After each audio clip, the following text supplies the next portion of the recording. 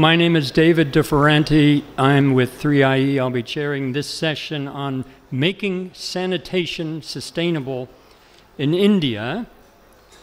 And the context, by way of brief introduction before we come to our wonderful panel, is that uh, as uh, almost everybody in this room knows, I'm sure the national government here in India has given priority uh, in recent years to achieving the goal of being open defecation free uh, and has made important statements about that uh, very recently, in fact, almost exactly a month ago. Also, the government's 10 uh, year national rural sanitation strategy for the next 10 years emphasizes its sustainability of latrine infrastructure, including retrofitting and repairs, behavior change, communication, and solid and liquid waste management will remain priorities uh, in the post October 2019 uh, period. And uh, to um, help understand, help everyone look at uh, the uh, big questions around all of this. 3IE has been supporting the generation of evidence on sanitation interventions in the country, including uh, formative testing and impact evaluations on innovative, low cost, behavioral science informed interventions uh, in several states Bihar, Gujarat, Karnataka, and Odisha and uh, exploring um, the role of informational constraints in inadequate facilities and how they affect uh, the willingness to pay for access to community toilets and their use in the context of the slums in Uttar Pradesh. So, there's a big issue that's been in the public eye. Uh, there are uh, policymakers who are making decisions uh, and statements and it's, uh, it's a moment for evidence to step forward. And let's, uh, in this session, we're going to hear a little bit about all of that. And our distinguished panel, uh, in the order in which they will be speaking. First, Alex Armand, on my immediate left, your right, is assistant professor at the Nova School of Business and Economics a research fellow at the Institute uh, for Fiscal Studies in the UK and at the Navarra Center for International Development in Spain. He, uh, his research is, uh, amongst other things, focusing on the effect of local community engagement, on natural resource management, on the role of media in reducing conflict, and on sanitation in urban slums. Um, he will be followed by uh, Radhika Menon at the far uh, End, uh, who uh, is Senior Policy and Advocacy Advisor at 3IE. Radhika anchors 3IE's advocacy work on evidence informed policymaking. She has over nine years of experience working in the area of uh, evidence informed decision making, knowledge translation, and uh, research communication. And if I listed all the things that she has done and Alex has done and uh, Madhavan has done, we'd be into lunchtime. So uh, we'll, um, and now um, our third speaker, uh, uh, VK Madhavan, is Chief Executive of Water Aid uh, India. Uh, and uh, he has worked extensively around the country on um, many issues at, at the very ground level. Uh, he has worked with ActionAid, the Hunger Project, uh, the Central Himalayan Rural Action Group. Uh, he uh, has been a development professional, um, worked on integrated approach to rural development, uh, and um, uh, is now chief executive of Water Aid um, since 2016.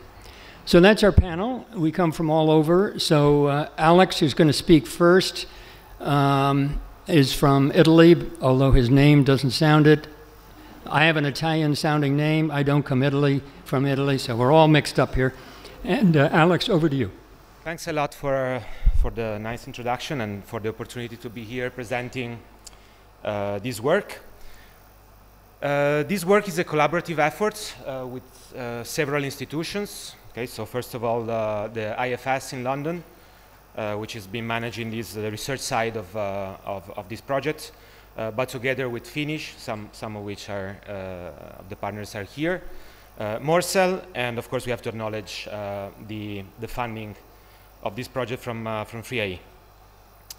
Uh, let me start the presentation by looking at this map. So uh, this is a forecast from the United Nations about the growth of cities in, uh, in India uh, from nowadays, uh, well, including the past, but uh, out to 2035. And what is evident here is that the size of cities is planning to grow very fast in the next, in the next 20 years. So even if we take um, you know, relatively smaller cities, and I'm not choosing randomly because basically I will be talking about the study which is that being happening in these, uh, in these cities. So if you just take a, a relatively smaller city like Lucknow, uh, you can see that from 2015 to 2035, the city is expected to, uh, to double, almost double. Okay, so we're talking about a very large expansion in terms of uh, urbanization. Uh, urban slums are um, a result of this type of process. Okay, so the fact that uh, there is a large migration from rural areas into cities, which turns out to increasing informal settlements. So worldwide, around 40% of this expansion is happening in areas with, uh, with basically low private and public investments. Uh, this translates into uh, generally an issue. So the fact that cities, uh, which are generally middle and lower uh, income countries, are generally struggling to, um, to maintain the pace of this urbanization in terms of, of infrastructure. Uh, one type of infrastructure which is particularly important in this setting is the wash infrastructure. Okay, so the water sanitation and hygiene infrastructure. So this is particularly important for the health consequences that uh, um, bad sanitation practices or bad access to uh, good sanitation infrastructure is, uh, is generating. So this creates, first of all, an important demand for uh, policies that works in terms of addressing uh, sanitation issues specifically in, uh, in slums. Okay, so this, in this study we focus on a particular type of solution which has been uh, thought to be potentially a temporary, but not only a temporary solution, which is the community toilets. Okay, so community toilets is somewhere in between a public toilet and, um, um, and a privately managed toilet. So it's a pay-to-use toilet which is mainly used by communities. Okay, so it's not, uh, it's not a toilet which is used by, uh, you know, in market areas or by people not living next to the community. Uh, this is an important solution basically for the constraints faced in slums on building and managing private toilets. Uh, but also it's a very important solution to face the proportion of people which is still uh, uh practicing open defecation. Okay, so if we look at uh, a very simple correlation from, uh, from our study, so if we put on the y-axis the share of people using community toilets and on the x-axis the distance from a community toilet, we can see that uh, the geographical pattern where, where, you place a community toilet is particularly important for defining uh, usage. Okay, so if you live very close to community toilets, uh, and, and this is, sorry, I forgot to say, this is only for people who do not have access to private, uh, um, private toilet. So if you live very close to a community toilet, the probability of using it is very large. Uh, the, the further you move away, the lower is the probability. Okay, so I'm not saying that where you put a toilet, people are going to start using it. Uh, but there is a clear correlation on uh, positioning a toilet and the fact that uh, users are using it. So independently from the use or uh, access to a community toilet, this is particularly important because if you go the other way around and if you use, if you look instead uh, open defecation practicing, uh, you can see that if you are very close to community toilets, then probability of open defecating is very low. Uh, but the further you move away, uh, the probability of open defecating is going up to uh, almost to one. Okay, so um, still nowadays you can see that if you live around 400 meters away from a community toilet, and if you don't have access to privately uh, to private-owned uh, toilets, people are um, open defecating with a large in large proportion. Okay, so this opens um, uh, several questions, but the main one is how can we make uh, community toilets financially viable? Okay, so um, the main characteristic of community toilets in, in uh, Indian slums is that these toilets, while they are paid to use, they tend to be in very, very bad conditions. Okay, and the idea is that uh, if people do not pay fees, then it's very difficult to financially sustain toilets which are clean. And if the toilet per se is not clean, then it's more difficult for people to, uh, to be willing to pay more money to, to access the toilet. Okay, so in the literature, uh, the idea of uh, having uh, a very low willingness to pay for environmental improvements, uh, which is widespread in developing countries, also applies to, to sanitation practices. Okay, so in, in general, we expect people to have very low willingness to pay to access improved sanitation uh, conditions. Okay, so in the literature, there's been uh, several type of uh, hypotheses, so some of which are people are not generally uh, informed about the returns in terms of health of uh, improving the, these, these practices, but also on the fact that there are not many, uh, well, the supply side is not presenting enough conditions for which people um, decide to, to pay or to use this type of of, um, um, of toilets. Okay, so let me come to our study. So in our study, we want to understand how can we make uh, community toilets uh, financially viable or sustainable. And the idea here is to try to think about the effect of uh, improving the quality of the toilets, but at the same time providing information. Okay, so we designed and uh, implemented a randomized controlled trial in 110 slums in, uh, in Lucknow and Kanpur. And the idea here is to use uh, these 110 slums and to randomly allocate them to three different groups. Okay, so a control group where uh, nothing is implemented, a supply side group where uh, there has been an improvement in the, in the quality or an attempt to improve the quality of these toilets, and the third group in which this attempt to improve quality is, is, is joined together with an information campaign uh, on the importance of, uh, of uh, not practicing open defecation, but at the same time of um, respecting um, the community toilets.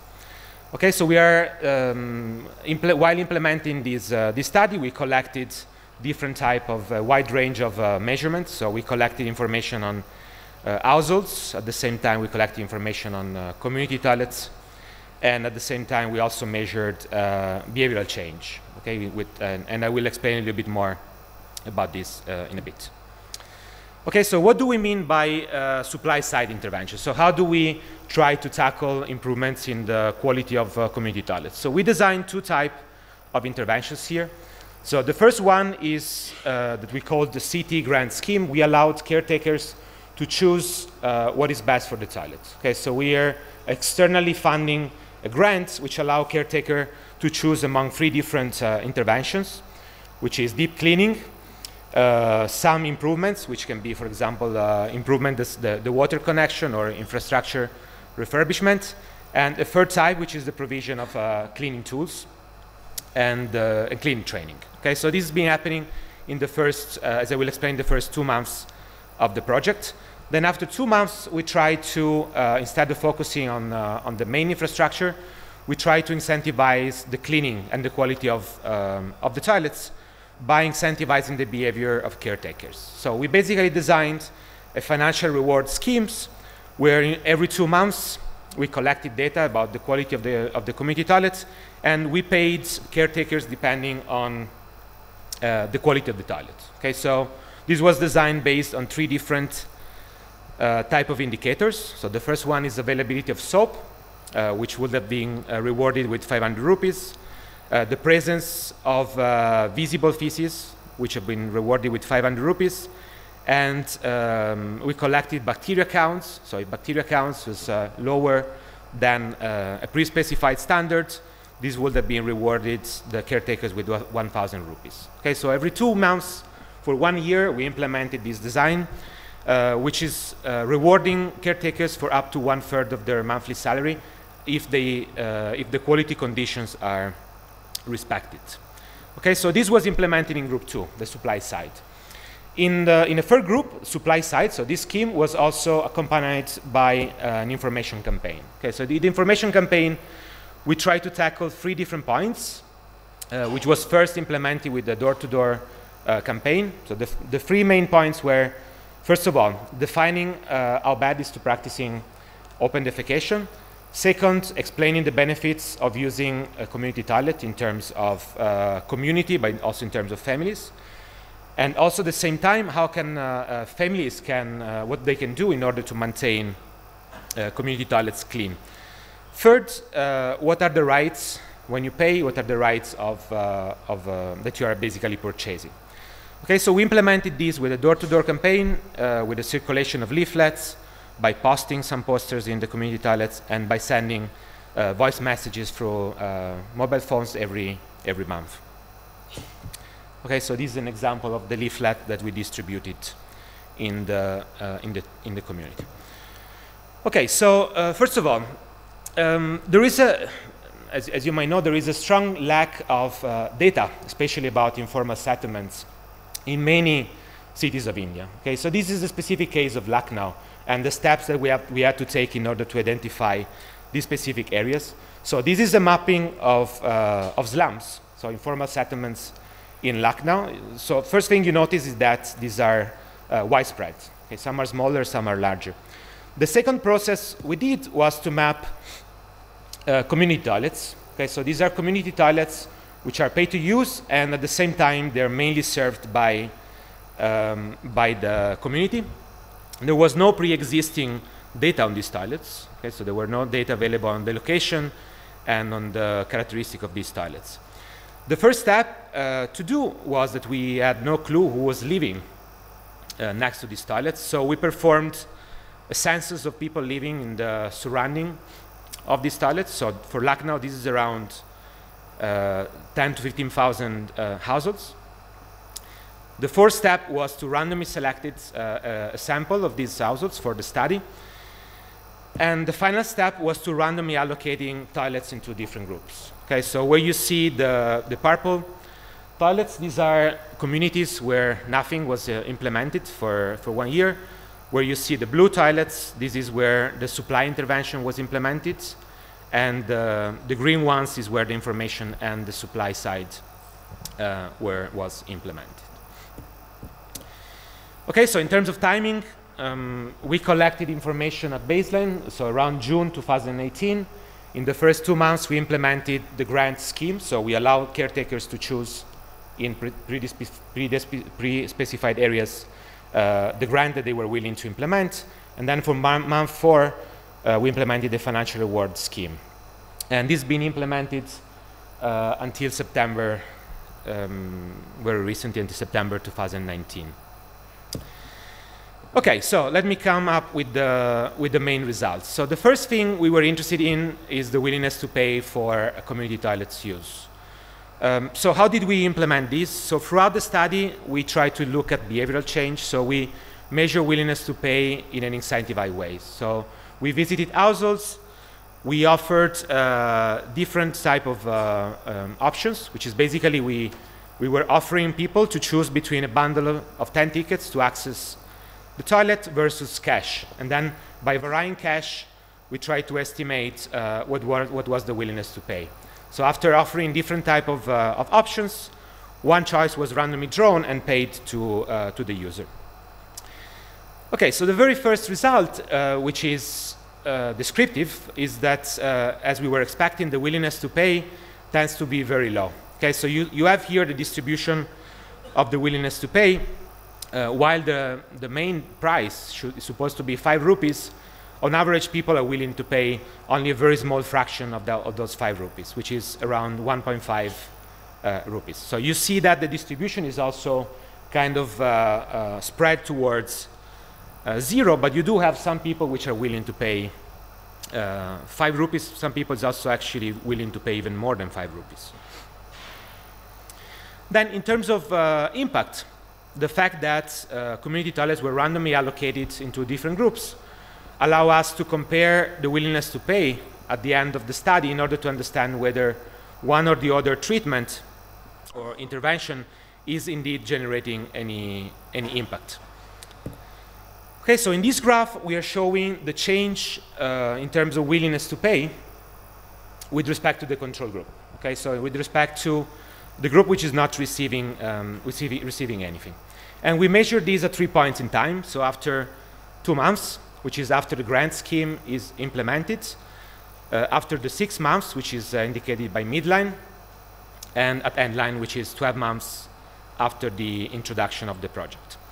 Okay, so what you see here is that what we would expect is not exactly what we observe. Okay, so while we should see that improving quality of toilets should increase the willingness to pay for, uh, for accessing, what we see is that in the short run, uh, if any, the willingness to pay is actually uh, reduced.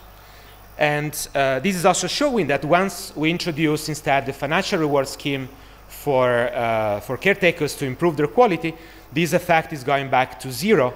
Uh, it's slightly positive, but not different uh, from zero.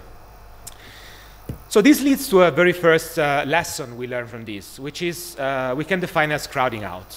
Okay, so what we see is that, at least in, in, in this study, so external intervention which are aiming to improve the quality of community toilets by, uh, you know, by improving the infrastructure are not uh, raising willingness to pay, but if any, they're reducing it. Okay, so this is known in, uh, in economic as the crowding out effect. So the fact that coming in with public or external investment tends or can reduce uh, private um, contributions. Okay, so the, the first lesson from this is that uh, any intervention that should try to implement um, improvements in community toilet quality should think about this crowding out uh, effect.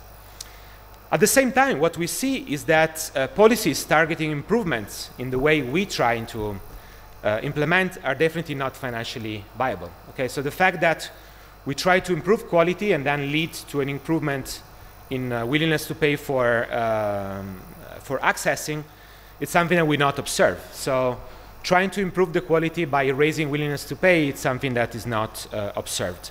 At the same time, this is also rational for subsidies. Okay, so the fact that individuals are willing to pay very little amount of money for uh, accessing community toilets, but at the same time, uh, improving sanitation has very large private and public returns, it's definitely um, irrational for external subsidies.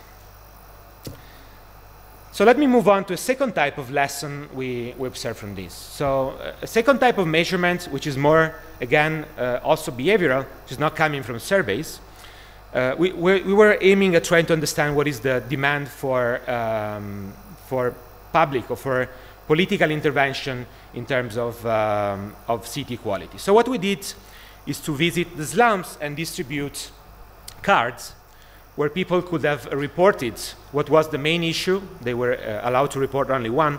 What was the main issue in the slum uh, to be reported to the, to the local officers. Then, after we collected, um, we were promising in the, in, the, in the leaflet to collect preferences and distribute them to the, to the public officers, which is what, uh, what we did.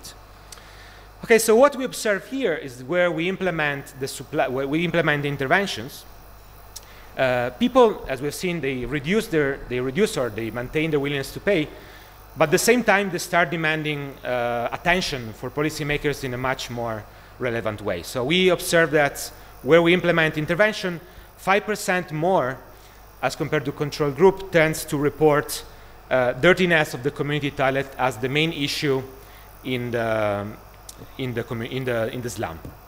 And I'm not going to have time to, to go through this, but as you can see, uh, people report a lot of issues. Okay, so it's important to notice that where the interventions are happening, people start demanding more for uh, public intervention. Which leads to the second uh, uh lesson from this study, which is the coordination pro problem. Uh, it is clear that privacy-oriented solution in this case uh, um, suffer from a coordination problem. So uh, policies which aims are targeting this issue needs to take into account two things, uh, which is, uh, first of all, they should raise coordination among slum dwellers, or in the other way around, they should think about uh, punishing in some way the free riders, because these are two clearly missing points in, in this type of setting.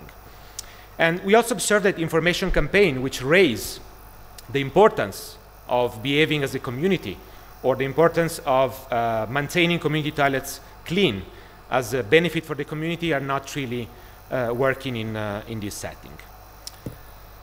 So final thing I wanted to uh, cover and then I will, uh, I, will, uh, I will conclude. We do observe two main other facts here. Uh, the first thing we observe is where we implement the intervention, we see an increase by 5 to 10% in the share of people which are paying the fees to access the community toilets. Uh, this is done not by asking, but is done by observation. So we basically have uh, observers uh, checking how many people are paying. So it looks like financially rewarding caretakers allows to increase revenues for the community toilets. Uh, but at the same time, we don't observe any effect on usage. So there's no more users. And at the same time, we don't observe uh, cleaning efforts. Okay, so the only real effect on uh, incentivizing uh, caretakers is basically raising, uh, um, raising revenues. At the same time, which is probably driven by the uh, incentives, by the information campaign, we do observe a 3 to 4% increase in uh, people reporting washing their hands. So basically um, improving sanitation, um, hygiene, hygiene practices. Uh, this leads to a third type of uh, uh, lesson which is relating to targeting. Okay, so in our study, we try to target uh, caretakers are, as the main channel through which improving quality of, uh, of um, community toilets by basically targeting their efforts. Okay, so we see that this is not really working in this setting in order to maintain um, community toilets clean. So it could be that there is limited, limited control of caretakers in the way uh, slum dwellers behave, but also limited uh, amount of resources for them in order to control uh, cleanliness of, um, of the toilets. Uh, which leads to the fact that incentivizing cleanliness through uh, the behavior of caretakers uh, doesn't really translate into improved qualities, but uh, does translate into uh, increased revenues, which is some sort of, of a perverse um, mechanism which doesn't guarantee the, the fact that community toilets will improve their, their quality. Okay, so this is, this is it. Thanks a lot. Thank you, um, Alex. Uh, you, have given us your findings, uh, which include uh, that uh, several hypotheses are not supported. That's very important. And also some um, um, other effects, such as hand washing, turned out to be positive for those in the room who work in health. Hand, hand washing is believed to be extremely important. Let's go, we'll come back to these issues. Let's go on now to um, Radhika. So, diving right in, and I think David provided uh, some sort of introduction to this program that we set up back in 2016 when India was in the throes of the Swachh Bharat mission. We thought this was an opportune time to have this program. When we carried out a scoping study, we actually found there were very few rigorous studies that were looking at latrine use. Um, so, we supported nine pilots of behavioral science informed interventions, and from that, we chose four research teams to carry out impact evaluations. The aim of this program was to generate evidence on the effectiveness of low cost behavioral science informed interventions to improve latrine use and we capped it the cap the cost of the intervention at $20 per household which is in line with the information education communication budget of the government uh, so the studies were carried out in Bihar, Odisha, Gujarat, and Karnataka. Uh, and they used different intervention approaches, which drew from actually different behavioral theories, but also was informed by the formative testing work, which actually showed that the barriers to latrine use were very different across these states. Uh, what was really key in this, in this program was that all of the research teams had a very collaborative approach and they used a standard list of latrine use questions and indicators so there's, you know, we can be looking across study and comparing. Uh, 3i on its part had regular workshops through, uh, you know, the conduct of these studies uh, to promote peer learning and also to promote engagement with WASH stakeholders, including the government. So I'm going to take you through a whirlwind tour on the, of these interventions because there's really no time. Uh, so starting with Bihar, this drew on nudge-like principles, but I would say it was more than nudges, it was more of a push. Um, at the community level, uh, they had different sorts of activities, and the formative research here showed that anxiety about pit filling and emptying prevented people from using the toilet regularly. So they had facilitators ca carry out what is called a French drain experiment, which is a bucket full of holes where you show like wet mud rapidly losing volume as it decomposes. And the facilitators handled, uh, you know, decomposed fecal matter to show that it really doesn't have any sort of odor and it can be used as fertilizer. They also had a card game which demonstrated the pit filling rate for a standard pit for households of different sizes. And they got the community together to pledge that they would use latrines. The household visits reiterated those messages, had card games, and also a poster where this pledge was put out. There was a calendar that households could use to track, you know, uh, household usage of different members, and a lockbox where they could put away money for repairs of the latrines. In Odisha, they, um, you know, again used all of these activities to promote awareness on, uh, you know, the benefits of latrine use. Uh, but they used folk dance performance like the palla to reinforce these messages. They went on a transect walk where they dropped colored, for, you know, powder on, you know, feces and they brought the community together to have like a planning meeting to take stock of the cleanliness of the village and promote this idea of keeping the you know village clean and beautiful uh, they put out posters outside the you know, households which were regularly using the latrine to encourage people. And the wall painting also showed, indicated those households which were regularly using the latrines and there was an action plan on the wall. The household activities again reiterated these messages. And in addition, they had conducted minor latrine repairs. So the door not functioning or like minor pan repairs were carried out. And at you know, they also had mothers group meetings to promote the safe disposal of child feces and they gave away free potties to the mothers. In Karnataka, they drew on the RANAS framework, which is uh, looking at risks, attitudes, norms, abilities, and self-regulation influencing behavior. Um, and again, they try to promote awareness on latrine use, uh, about pit filling and emptying, and they had a meeting which used a lot of multimedia components, including videos, to tell stories. Again, reiteration of the messages through household visits. A reminder sticker was put on a lota, which is the water container used in the latrines. There was a phone call made to the male member of the household to remind them to use the latrine and check on whether they were using the latrine. Uh, and a commitment poster with a family, uh, with the family together pledging was put outside the, the house. And again, they had an Anganwadi meeting here to promote safe disposal of child feces.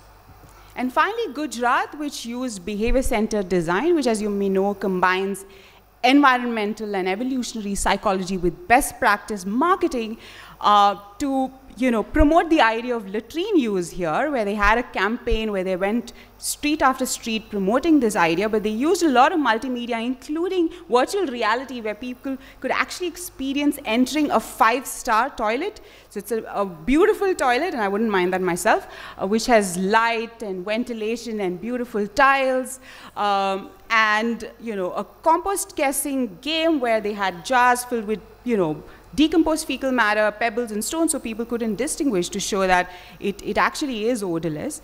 And certificates and stickers to people who own these sort of five-star toilets.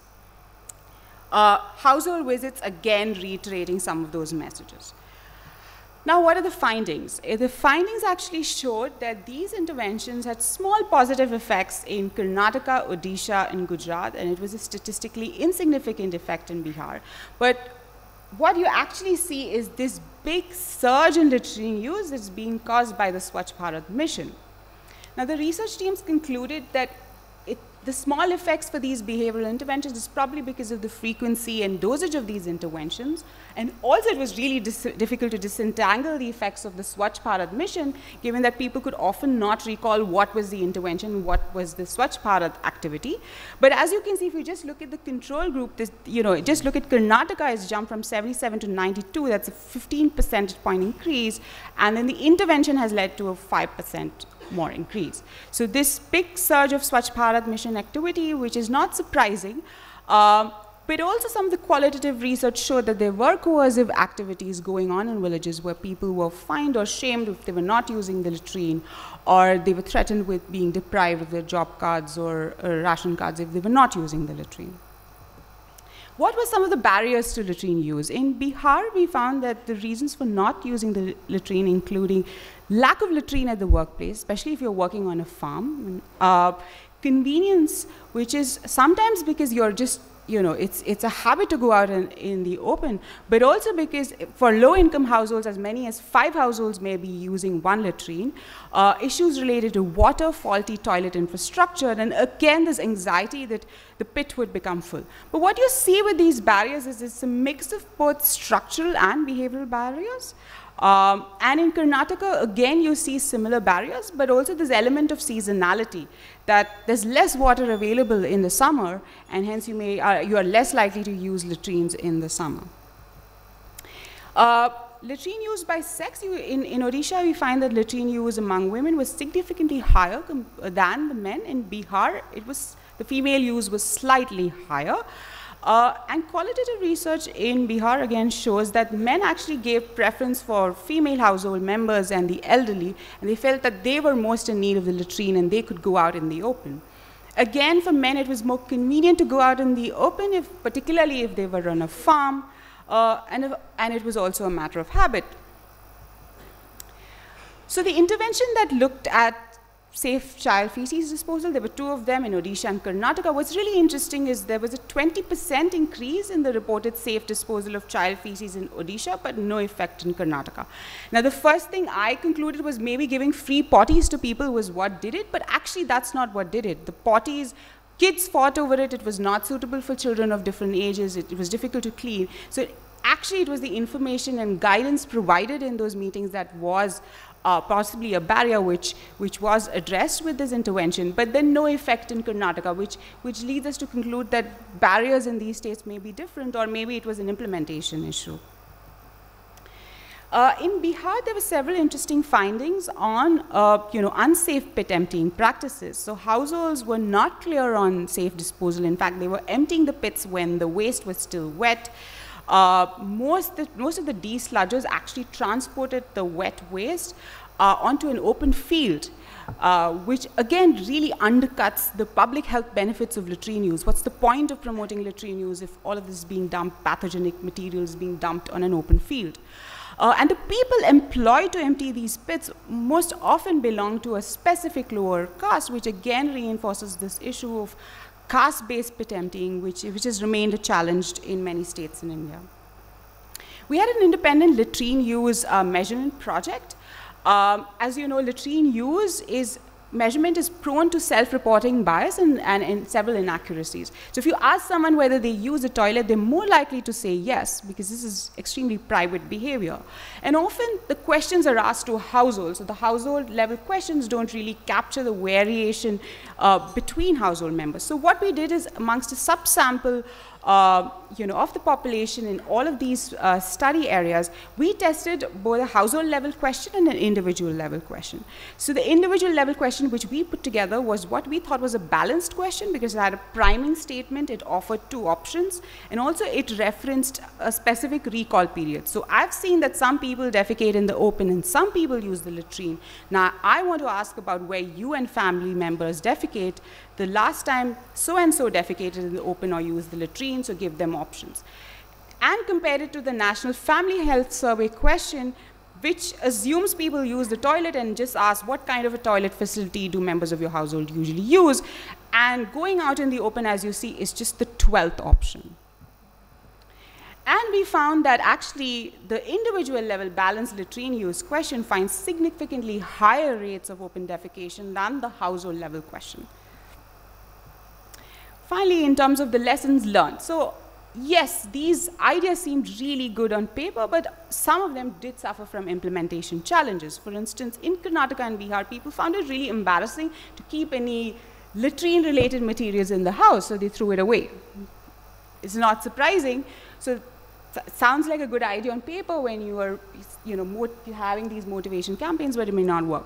Gender-related social norms prevented young women from attending community meetings in Odisha. So for instance, the mothers group meetings were attended by the mothers-in-law and not the, you know, the mother herself. And overall, we found that participation in community meetings was not very high. Part of the problem is a mobilization effort that you need to bring the entire community together. But the other problem is also how a community perceives a community. They may not see, they, there may be tensions within the community, and they may not subscribe to this collective idea of one unified community, and it may not be you know, how the administrative definition of communities are. Finally, implications for policy and programming. We do feel that you know, to promote consistent and sustained latrine use, uh, we need to move beyond you know, the traditional information, education, communication approach to think, to draw on behavioral science to actually think about what are some of the context-specific, gender-specific, or subpopulation-specific behavioral determinants. Uh, but also to improve health outcomes, we need to move beyond latrine use and think about the safe disposal of child feces and fecal sludge management. In fact, we found uh, in our studies that the sample shows that there's an overwhelming number of single pit latrines, which again raises this big issue of you know, fecal sludge management. And given, I mean, all of this conversation in the morning, many factors influence outcomes, and it's really important that we be building these linkages with other programs like nutrition, and government is already going the waterway. As you can see, are numerous factors that influence latrine use, so building those linkages are, is important. And again, the focus should be on the most disadvantaged populations, because the study findings show that though there are many who do, still don't have access, and um, there are still those who are engaged in manual scavenging work, and this is both an ethical and livelihood issue.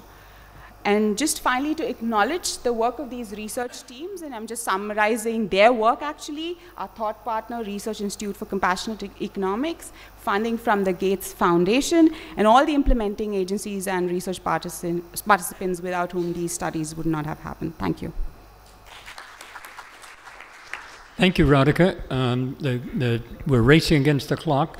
Now we've heard two perspectives from the research side Let's turn now, Madhavan. Uh, what are the key takeaways? You, as Chief Executive Officer of WaterAid, with a, a long uh, experience uh, on the action implementation, uh, what, what do you bring uh, as what do you hear in, in these presentations and, and in uh, your thoughts on the whole issues?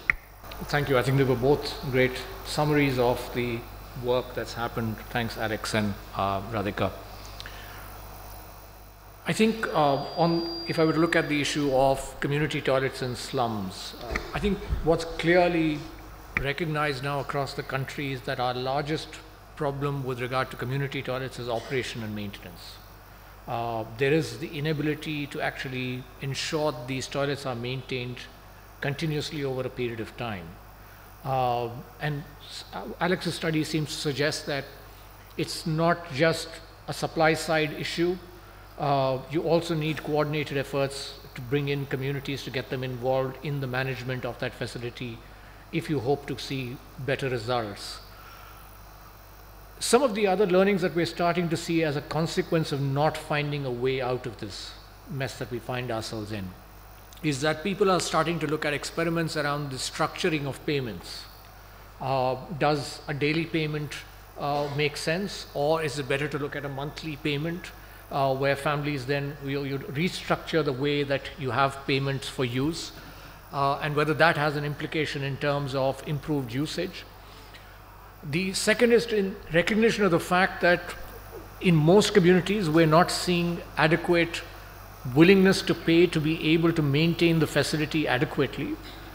As a consequence, there is a recognition that you need to have other sources of revenue to be able to maintain your toilets effectively.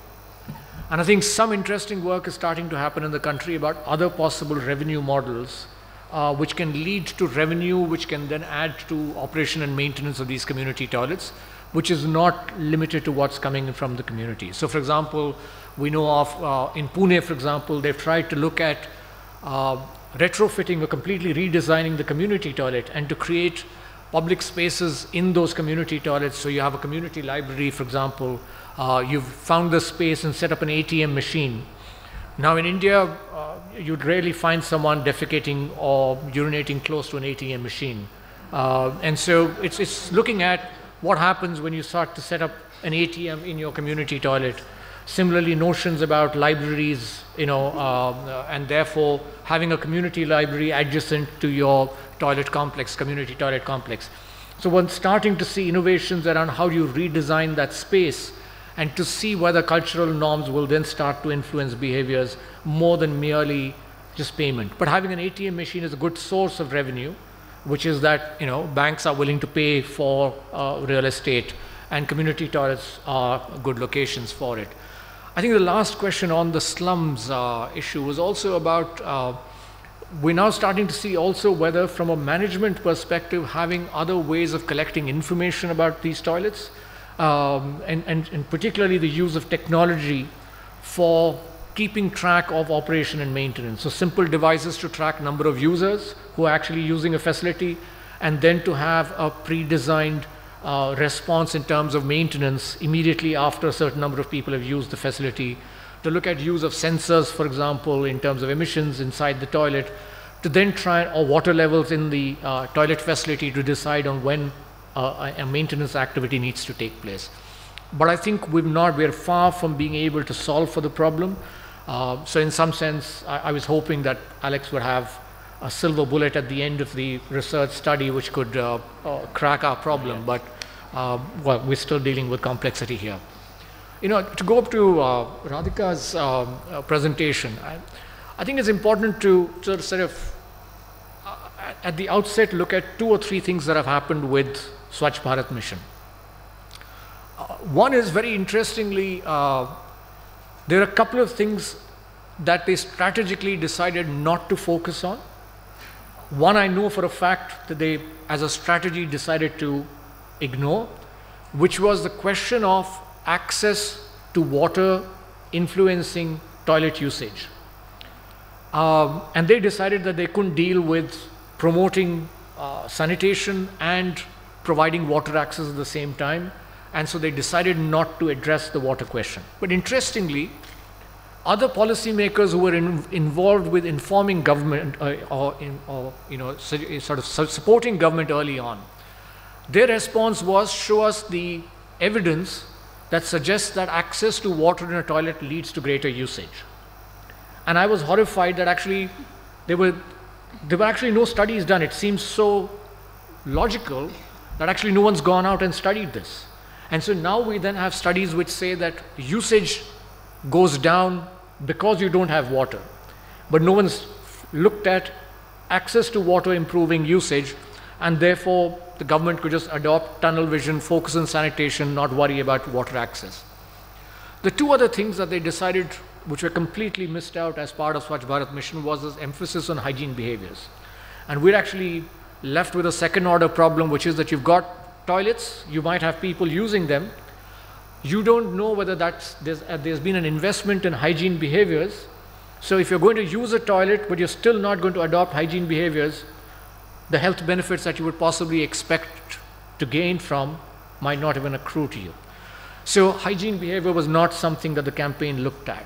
The third was this whole question of disposal of child feces under the age of two, was just never part of the larger discourse around Swachh Bharat mission. We've also ended up with some very interesting uh, learnings from Swachh Bharat mission. One is this whole question of toilet design. Uh, it's not just enough to have toilets, but it's also important to get the right kind of toilet in the right ecology. Later on, uh, two and a half years into the campaign, the government decided to look at what they call twin leach pit toilets. And so the French train experiment that was used in Bihar basically is around the twin uh, leach pit toilet.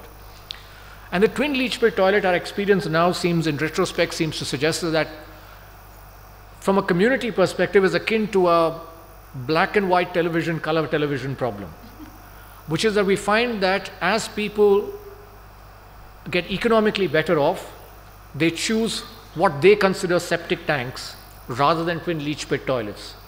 Similarly, if you're upper caste, you're more likely to choose a septic tank or what you consider a septic tank rather than a twin leach pit toilet.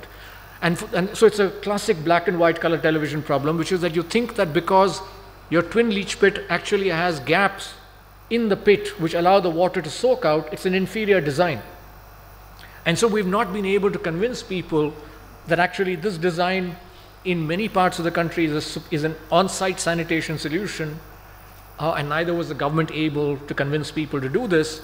And, and so what we're going to end up is with second-order problems where you have very large number of toilets constructed, but because the design itself of the toilets is poor, you're then either going to have a backflow, which could potentially adversely impact on usage in the future, or you're going to have to deal with questions around how that fecal matter is now emptied out, collected, transported, and safely treated. So rural fecal sludge management is going to become a very big challenge because of the problem of toilet design that we've ended up with. I think there's a larger question that we're dealing with here, which is that are surveys the best way to actually collect information on usage? Uh, uh, government collects uses surveys to collect information on usage. Um, one, one of the interesting things about Swachh Bharat mission is that most studies reveal that usage rates are very, very high. Uh, and in some sense, we're seeing much higher usage rates in India, uh, you know, in India than we have in other parts of the world. But the fact of the matter is that survey design itself is not probably the best way to collect information on usage. The other problem is that surveys are also not, currently are not good ways to collect information about toilet design. Because your toilets have been constructed, you're trying to ask questions about the substructure, it's very difficult for people to be able to explain what the substructure looks like. So in some sense, I think there's a need for finding new ways of collecting information on some of this to be able to sort of inform decision making as we go along.